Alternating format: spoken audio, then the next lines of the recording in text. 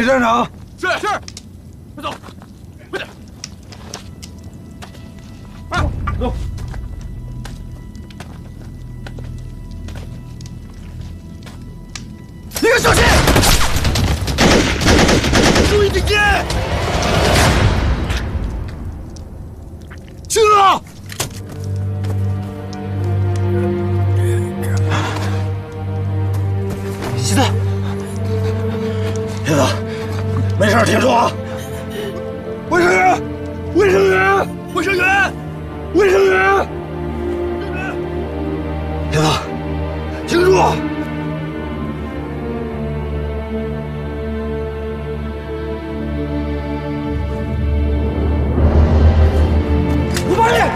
手！让开！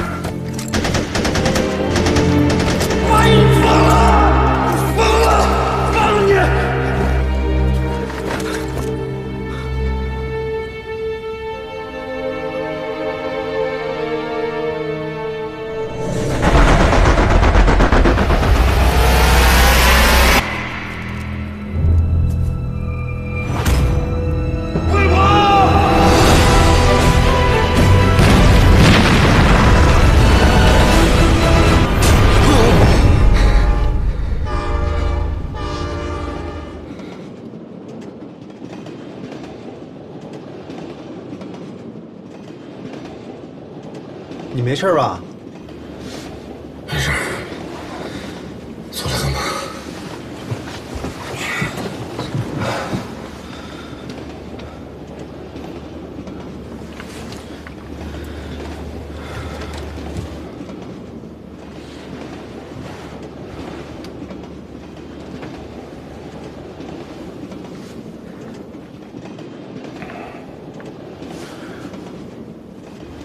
快到站了吧？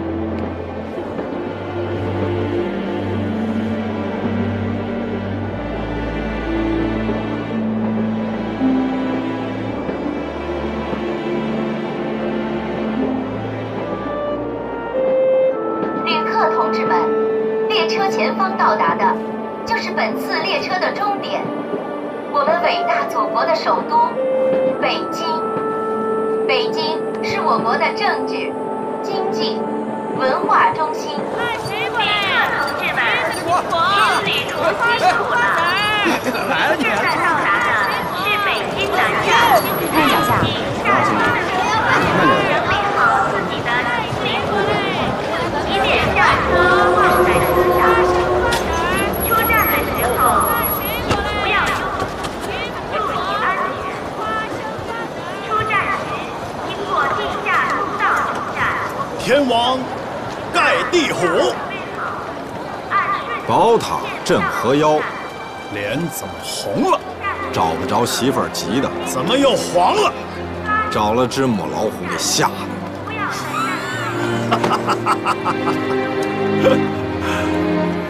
老 胡，咱们中央红军终于在北京会师了。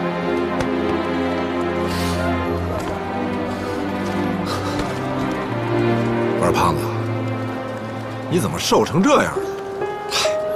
别提了，这日子不好过。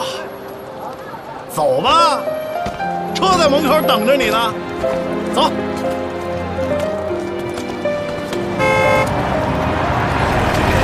行啊，胖子，够牛掰的，都有车了。哼，你丫才牛掰呢！给你丫分配工作，你丫都不去。好家伙，丫丫的，装什么北京人？我们家祖上就是北京人，怎么着？你还蓝田人呢？哎，说正经的，你被部队给开回来了，你老爷子没抽你吧？我以为啊，怎么着也得挨顿皮带吧，没想老头非但不生气，还挺高兴。我寻思这老头怎么越活思想觉悟越低呀、我要是你爹，我也高兴。后来我想明白了，我爹就是怕我死在战场。哎，你谁爹啊、你小子占我便宜！今儿怎么来晚了？哟，胖子，今儿这么早？来亲戚了，不干了。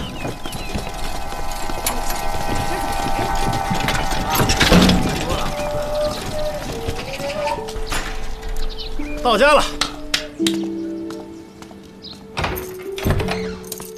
来，进，随便坐啊。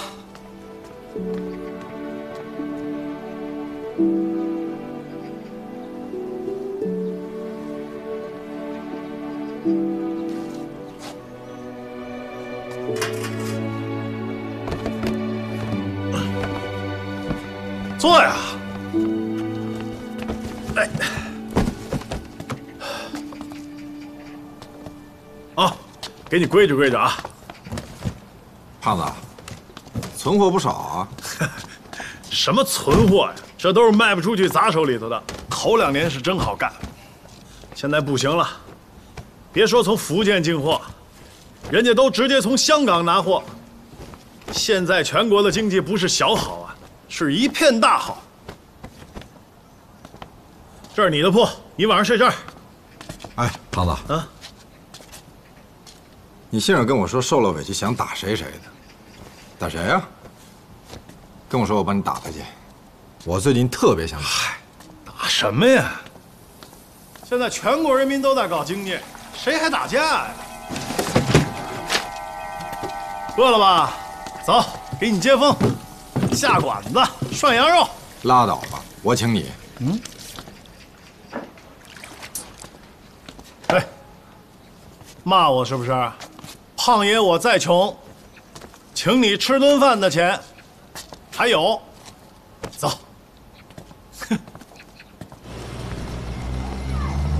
服务员，哎俩人。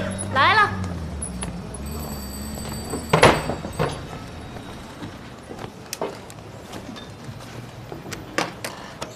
四瓶啤酒啊！好嘞，嚯，这羊肉可真够贵的，我这点复原费吃不了几顿。首都的东西比咱那儿贵。这可是好东西，您瞅瞅。那你说咱要几盘羊肉啊？这孙子在这儿呢，起子，可我也不能做亏本买是冤家路窄啊！谁呀、大金牙，我找他好几天了，他一直躲着我呢。怎么回事啊？前阵子我那车在潘家园让工商的人给扣了，后来就认识这大金牙了。他看上我那玉了，跟我磨叽半天。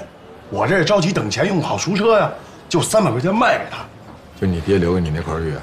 是啊，呀，多一孙子，他骗我。你知道我那玉值多少钱吗？起码两千起。干什么呀你？这成色没见过，别冲动！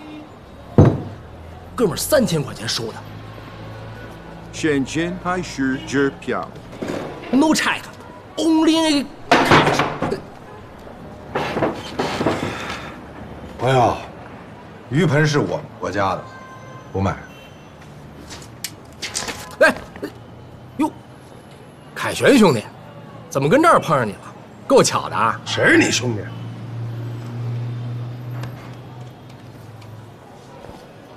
这位大哥，您这块玉是从我兄弟这儿收的，是吧？这位是我叫胡八一，这玉呢中间可能有点误会。今儿咱既然碰上了，得跟您说说。对不住，今儿不合适，我这儿有朋友，外宾。跟这儿骗外国人呢？不是兄弟，你这说话可得负责任啊！我骗谁了我？你骗我了！两位，我们今天有点事儿，你们改天。Ah.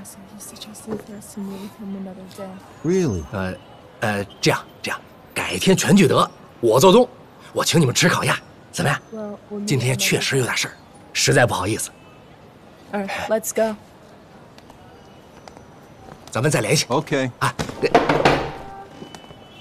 不好意思啊。改天联系啊。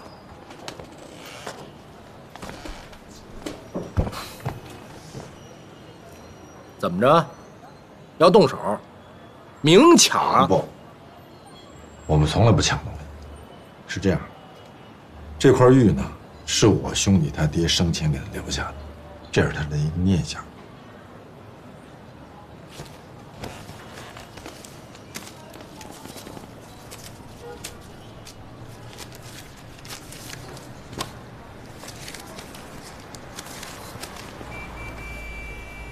是这么个事儿，但不是这么个理儿。老话说得好，“古玩字画，兵不厌诈。”卖出去之前是你们的事儿，卖出去之后那就是我的事儿。今天你们想拿回这块玉可以，三千块，拿走。胖子，你先坐下，先坐下。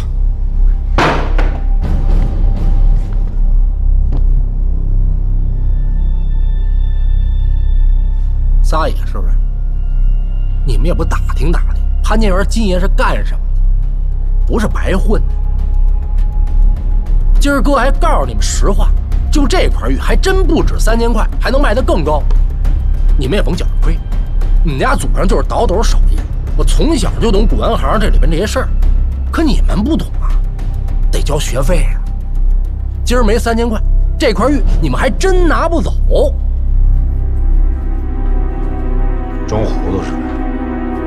那我今儿就把这事说明白了。你打一开始就知道这块玉能值三千块钱，你三百块钱从我兄弟那儿收，你这不是成心骗他？我告诉你啊，理儿是这么个理儿，可是你骗我了。这样这样，咱不废话，要么今儿把玉留下，要么你这颗金牙留下。两样东西你只能选一样带走。怎么着？真动手是吧？我告诉你们，这可是首都啊！没错，马路斜对过就是派出所，没关系。动手之前，咱们都是君子。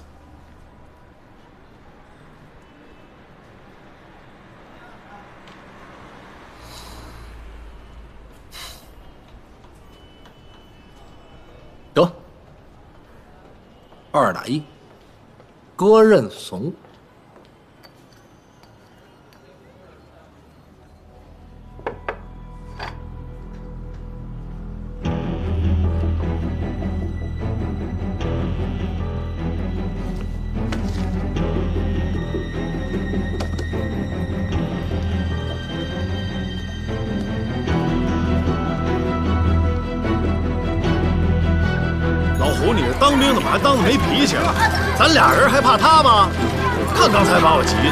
要依着我，早把丫放倒在那儿了。你怎么还跟下乡那会儿似的？什么事儿全凭脑袋一热。咱们的目的是把你的玉要回来。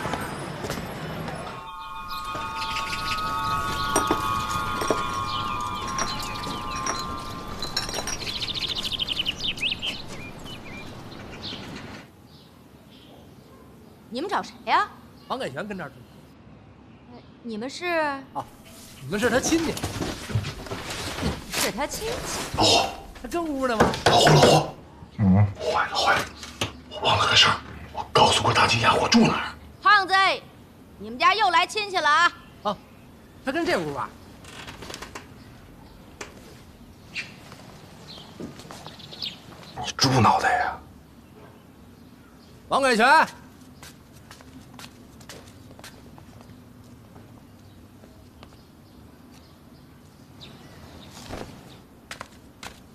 来了五六个，怎么办？能怎么办呀？是福不是祸，是祸躲不过。走。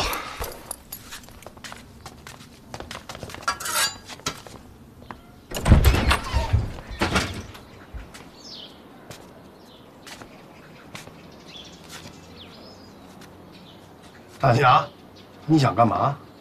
哟呵，气度不减呢。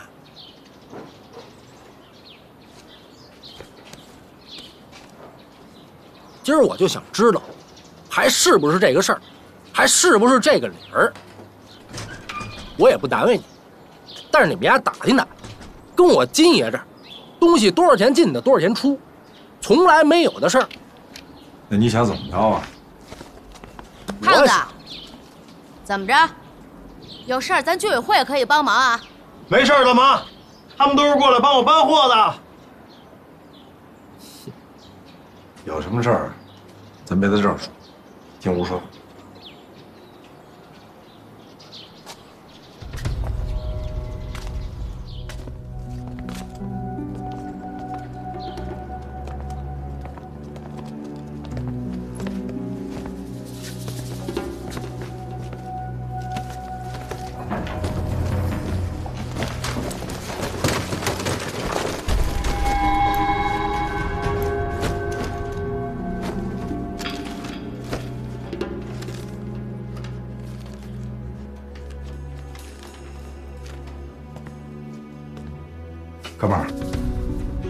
俩现在的情况你也看到了，就这些了。你要是觉得行，就牵你拿走；要是觉得不行，你画出个道来，我们俩奉陪到底。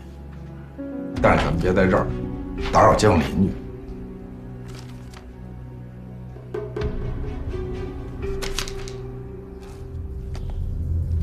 多少啊？大概六百，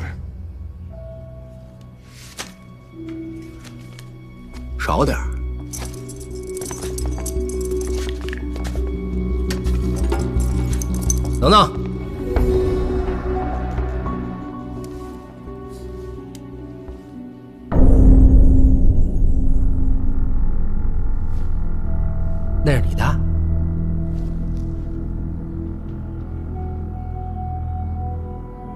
我能看看吗？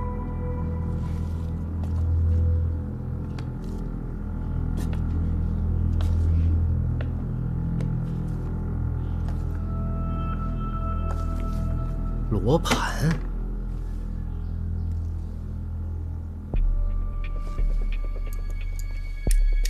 周易八卦，风水定位。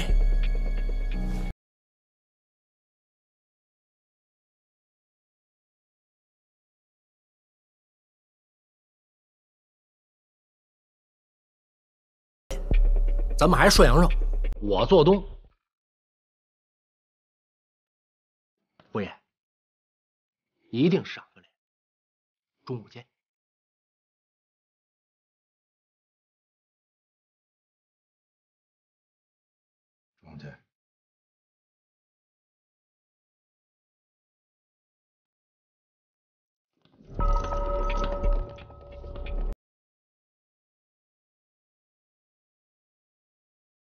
嘿，家拿你的钱请我们吃饭，什么路子？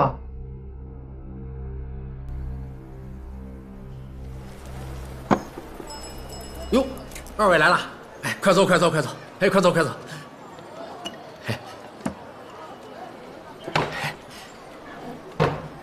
海贤兄弟，这件事难为你，哥给的错，咱这也是不打不成交。但是今天胡爷说的做的那是滴水不漏，给足了我大金牙的面，我就一个字，服。我自我介绍一下。我，人称金爷，潘家园做古玩生意。我爹呢，早年间就是一个民间倒斗艺人，后来让国民党抓壮丁当了兵。淮海战役那会儿，他们师友起义，参加了解放军。我爹在部队里头干过炊事员。后来到了朝鲜战场，腿给冻坏了，落席终身残疾。这不改革开放了吗？就回北京了，干点古董玩器之类的生意。胡爷对这行也有了解吧？当年你们家老爷子倒斗，没摸出个大粽子来。哟，那行啊，什么粽？粽子是盗墓行里的一句暗语，指墓里头保存完好、没有腐烂的尸体。碰到大粽子，就是指碰到麻烦了。哎，二位爷上眼。哎，瞧见我这颗牙了吗？我从墓里头挖出来的，前明珐琅金，没舍得卖，把自个儿的牙拔了换上了。哎，给我开了！来来来，咱开涮。哎，对了，走一个。来来来，哎，哎，兄弟，你的。我爹呀。当年被抓壮丁之前，是跟着湖南一位姓蔡的倒斗高手学的，对这个挖坟掘墓这些事儿那是所知甚多。他们这派主要是靠鼻子来闻。民国十二年有了洛阳铲，不用鼻子闻了，靠眼瞧了。靠洛阳铲带上来的土，就能知道地底下有什么。你看，这铲子里带上来，好比说，瓷片、木片、布片、金银铜铁细孔铅，包括夯土啊、呃砖瓦之类的，等等等等，就能知道这地底下的墓葬什么年代、什么样的布局结构。但是闻这门手艺到我这儿失传了，我爸腿脚不灵便，我呢又先天性哮喘，索性凭这点眼力，我干古玩生意。来，这倒斗的事儿啊，早些年我也听老辈的人说起了一些。真正的高手是没人用铁签洛阳铲的，有本事的人啊，走到一处就知道地下有没有墓，埋在什么位置、什么结构，这些一眼就看出来了，这叫分金定穴。也就是说，凡是风水绝佳之处，必有大墓，埋在里边的人，生前也都不是一般人，墓里边全是宝。真正有大本事的人啊，的确是对洛阳铲之类的东西是不屑一顾的。胡爷，您对这个分金定穴也有研究？别这样，佩服，佩服。哎，这样，二位要是不嫌弃，咱们吃完饭，我那儿瞧瞧去。这合适吗？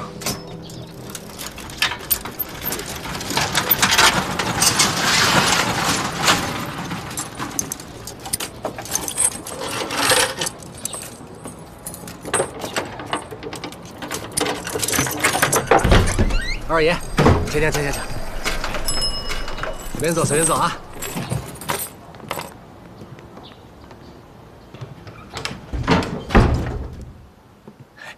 我送你们俩人一样东西啊。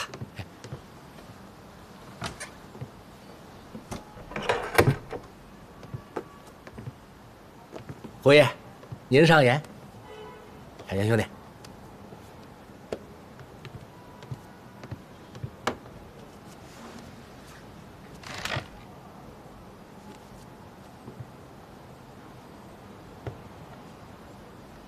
老霍，这什么东西啊？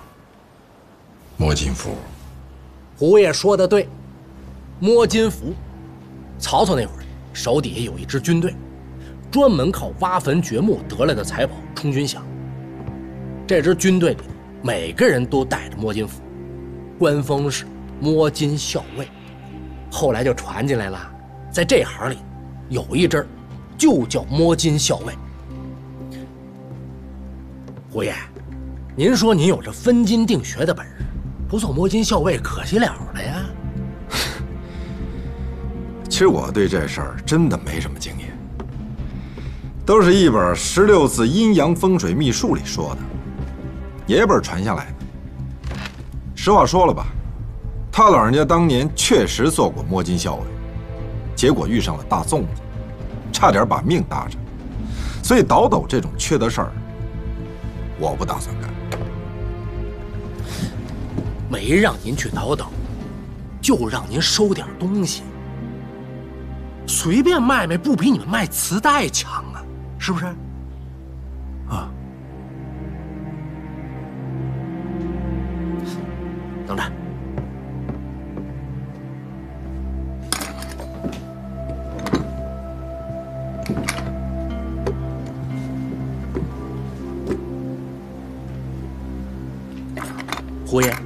您上眼。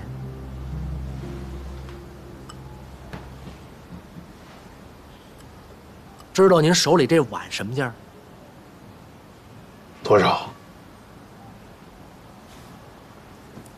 嗯，三百，三千，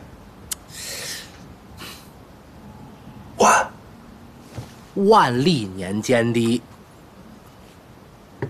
胡爷，您再瞅这个，您知道外国人给他开什么价吗？七，又十万，西周的呀。上周的吧？胡爷，上周的跟这儿呢，这是我上礼拜刚收的，我这儿最便宜的，六百。可就算是六百块钱，您二位现在也买不起。没别的意思，我就是想跟二位交一朋友。我也知道，二位不是一般人，将来如果有什么好东西，我负责给二位联系买家，你们亲自去谈去，到时候谈成了给我点提成就行。咱们是青山不改，绿水长流。老胡，走了。老胡，哎，老胡，哎哎，凯文兄弟，这拿走。哎哎，别别别别，不用不用，拿着拿着。先走了啊。老胡，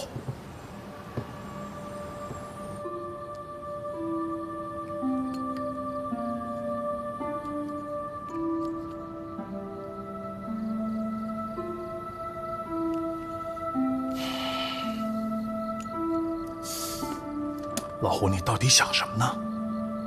那大金牙的话，你就一点不动心？咱先不说他，说说咱俩，咱到底怎么着啊？骑板车卖磁带这活儿，我实在是干不下去。胖子，你说大金牙这人靠谱吗？不好说。不过我白天听你俩聊的，我都听傻了，嘿，简直太有学问了。哎，其实我觉得这事儿吧，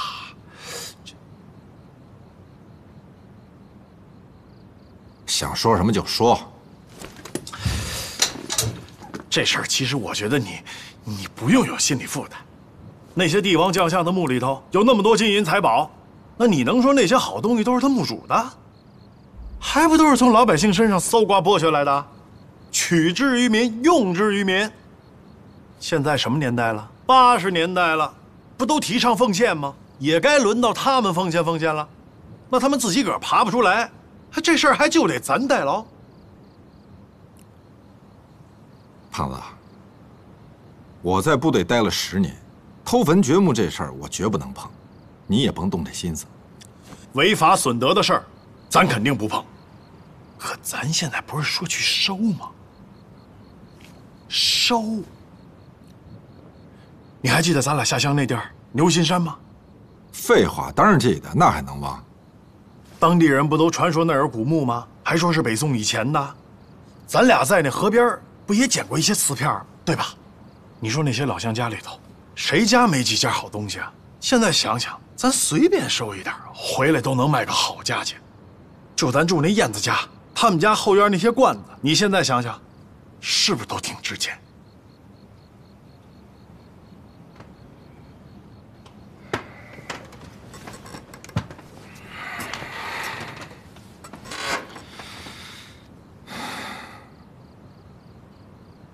老胡，你难道就不想那些父老乡亲们吗？老支书，燕子，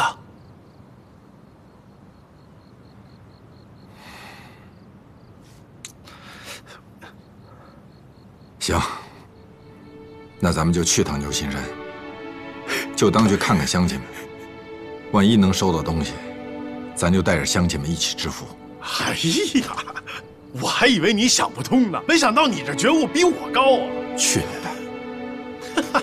但是啊，咱不能空着手去，把剩下的钱凑凑，多带点礼物去。没问题，明天，明天我就把我这些存货全都给处理了，把我那车也给卖了。你这货能卖几个钱？把它卖了吧，这应该能值点钱。英歌牌啊，这可是限量款机械表，这能卖个好价钱。这样，干脆把我这房子也给退了。退了，啊，退了回来住哪儿？北京饭店。你把我表还我！哎，干嘛？大爷的，哼，一天到晚就知道享受。嘿 嘿哎，老胡，我觉得你那块表怎么也值二百吧，人电视值六百，大金牙告诉咱直接拿走，他什么意思啊？他这你傻呀？你会不会算账？我问你那块玉，我给他六百，他亏吗？嘿，这大金牙可真够逗的啊！为了面子跟咱要钱，然后私底下为咱补回来。他这是想给咱俩留点念想。留什么念想？他是那吃亏的人吗？来来来，先放，先放。你这弄的东西也太多了，你想累死？行了，你别埋怨我了。咱上人那儿收东西，不得搞点感情投入？要产出先投入，这是硬道理。一想到多年不见的乡亲们，我都有点激动了。你为什么激动？我还不知道。行了，不说了，票呢？票我给你了。你什么时候给我了？在你那儿呢，你赶紧找找。哎，不是，我不是出门之前先把票给你了吗？哎，哪儿去了这是？你在？来，同志，两位。你，老胡，你大爷！